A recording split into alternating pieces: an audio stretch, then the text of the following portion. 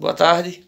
Pessoal, estou aqui na, na Pedra de Dentro, no posto da Pedra de Dentro. A prefeitura veio, o prefeito comprou a bomba nova.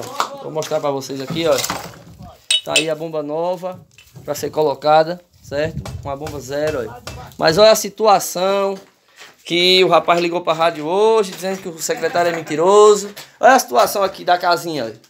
Essa aqui é a casinha da Pedra de Dentro, do posto da Pedra de Dentro, olha.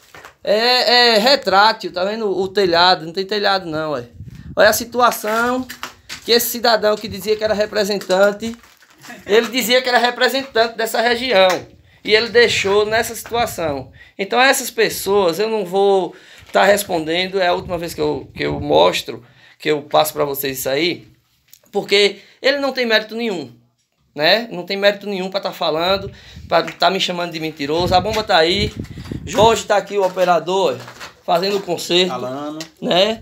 Fazendo a, a, a instalação, instalação todinha da, da bomba, que vai descer daqui a pouco a bomba. Então, amigo, ó.